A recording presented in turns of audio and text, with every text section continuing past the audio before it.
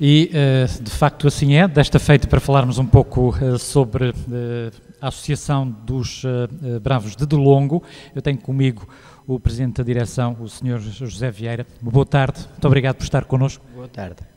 Uh, Sr. José Vieira, uh, dizia-me há momentos, antes de iniciarmos esta nossa uh, conversa, que está à frente da direção há larguíssimos anos. Desde, desde 1984.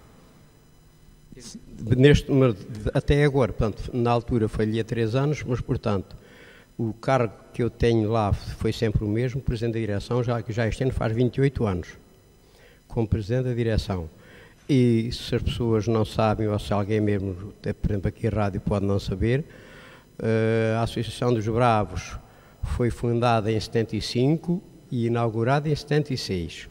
Portanto, e eu fui para a coletividade em 84. Depois falhei lá três anos por umas coisitas, mas depois voltei para lá, passaram-se lá outras coisas e então depois voltei para lá. Como sabem, a Associação dos Bravos é uma, uma associação pequena, também tem pouco espaço para expandir, mas neste momento já teve muitos sócios e neste momento ainda tem bastantes, mas pagantes aí entre os 80 e 110 pagantes, não irá muito mais além disso, de sócios pagantes. Embora tenha, lá, tenha mais sócios, porque a gente não gosta de risco, se eles à minhoteria quiserem ir e voltar a ser sócios, também não vamos uh, dizer que não a nenhum deles, como alguns já regressaram, porque isto tem, tem uma vivência bastante agora bastante dificultada, porque nós há muito tempo abrimos das 1 às 3, ou seja, das 3 às 15, à noite trava um bocadinho mais para cumprir a edição, porque à noite tem pouca gente. À hora do almoço, ainda se lá junta uma gentita, mais ou menos, e, e depois normalmente todos os dias, na coletividade dos bravos se jogam um bocadinho às cartas todos os dias, ainda há bocadinho ficaram a jogar. Uma mesa, às vezes duas, já tentado até três a jogar as cartas, Uh, é um convíviozinho, pronto, mas é só de uma às três, não é muito tempo, porque a minha vida também não é só aquilo, não posso lá estar mais tempo e já há muito tempo eu perco lá.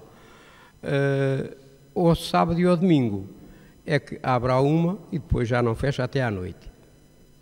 Uh, agora vim aqui, mas estou combinado a estar lá às 5 horas outra vez, com o pessoal lá que normalmente, e digo-lhe normalmente isto é assim, e o petisquito é feito em minha casa, tem lá um petisquito, hoje é menos gente porque parte das pessoas que lá estão foram para Lisboa ver o Benfica.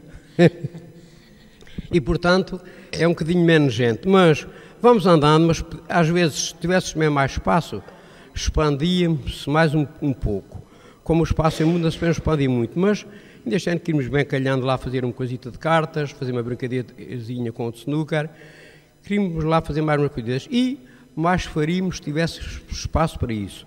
Nós, a coletividade Bravos, tanto pedida por mim, já, já vai fazer nove anos, pedimos a escola primária que estava desativada à senhora Câmara Municipal, que até ver continua tudo no impasse, porque a senhora Presidente da Câmara está a fazer de uns filhos e de outros enteados na, na nossa freguesia, porque se a senhora Câmara Municipal tem poder de decisão para ceder umas coisas e não, não tem poder assinar, para ceder outras, não sei que é, há uma coisa se lá tem que passar, algum trunfo terá escondido na manga para dizer, falar bem português, para nos calhar nos lixar a seguir.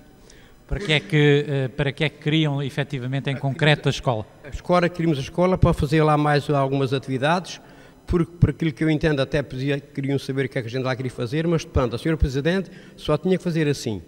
Fazia-se um protocolo, entregava a escola à coletividade e só ao fim de seis meses continuasse tudo na mesma, voltava a tirar.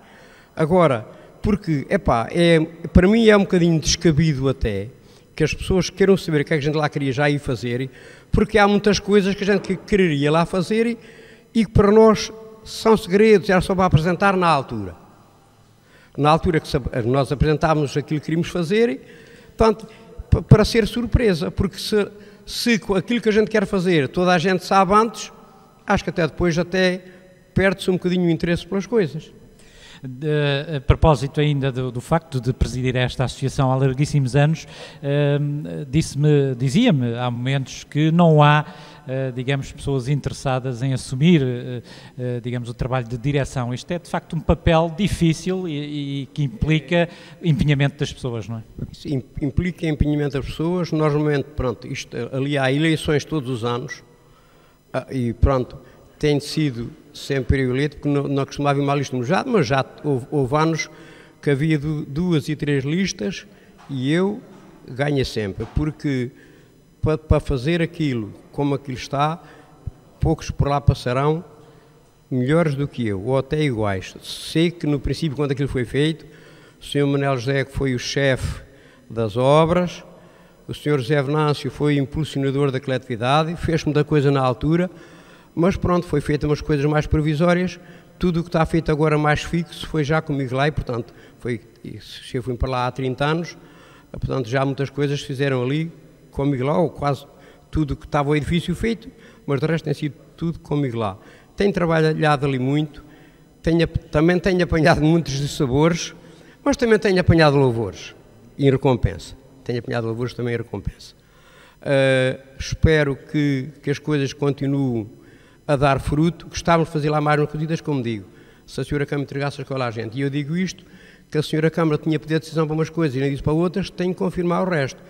Porque se a Câmara teve poder de decisão para decidir já a de Vila Nova, a de Valdonas, a Quinta do Vila e Companhia Limitada, epá, também devia ter poder de decisão para decidir as outras que as pediram primeiro.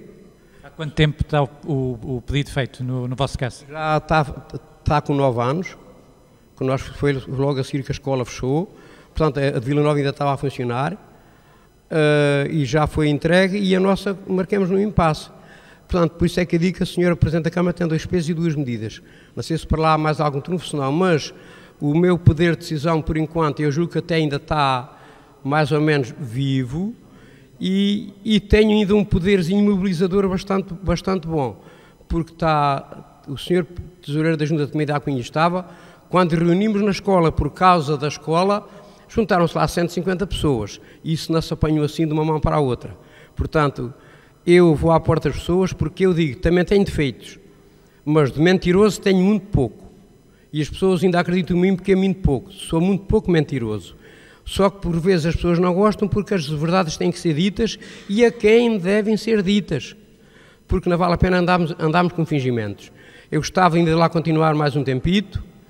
Uh, eu já lá comemorei ali os 25 anos, fizeram lá uma festa de homenagem pelos meus 25 anos ali, até que estava lá a fazer os 30. É dos dirigentes associativos mais antigos do Conselho, em termos de coletividades, não é? Possivelmente.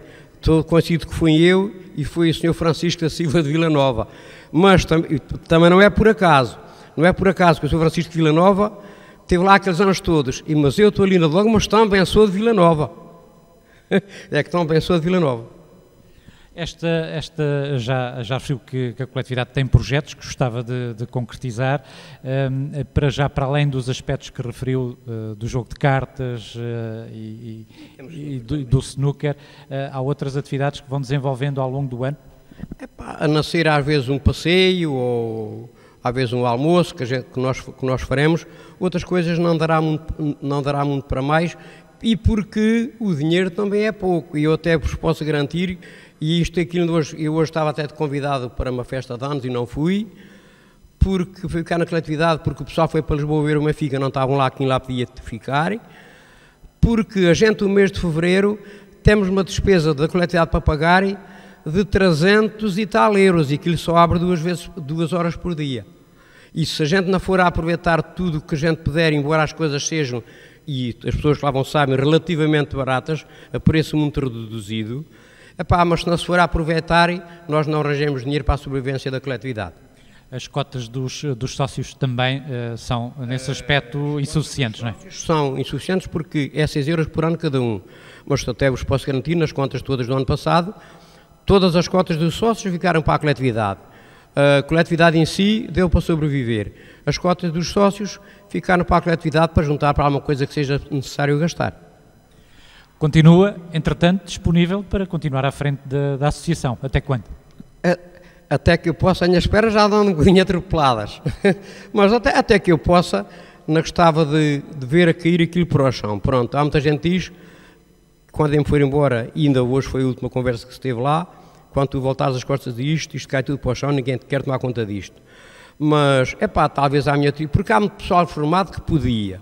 Mas as responsabilidades, sabem que eu tenho que tomar a responsabilidade de abrir aquilo a uma hora todos os dias, tenho que ligar antes, ou eu a minha mulher limpar, ligar a máquina, limpar, pôr tudo em ação para abrir a uma hora. Isto dá um encargo muito grande e para quem tem o encargo de estar ali todos os dias, porque as outras pessoas andam a trabalhar, não podem estar ali à noite ou ao fim de semana, pessoa precisa de ajuda. E eu, quando faço ali alguma coisa, não tenho queixa das pessoas para ajudar. Se a gente fizer até uma festa, nas alturas da festa há sempre pessoal para ajudar.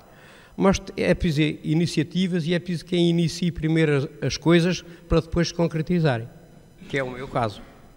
Muito bem, vamos então ficar a aguardar que as coisas entretanto possam eh, melhorar eh, para a Associação José Vieira. Ainda gostava de dar mais aqui uma chegazinha. A escola de, de Longo, se tivesse sido entregue já há mais tempo até à coletividade, este ano tinha sido um bom ano para se organizar lá alguma coisa na escola fazer lá uns eventos, uma vez que temos em ano de festas de tabuleiros. E era coisas, digo-lhe mesmo, que eu gostava lá de fazer, porque eu nisso eu até sei. Uh, dirigir algumas coisas, portanto, que condissessem com a festa dos tabuleiros. Mas, infelizmente, temos assim. Aguardemos. Então, vamos aguardando.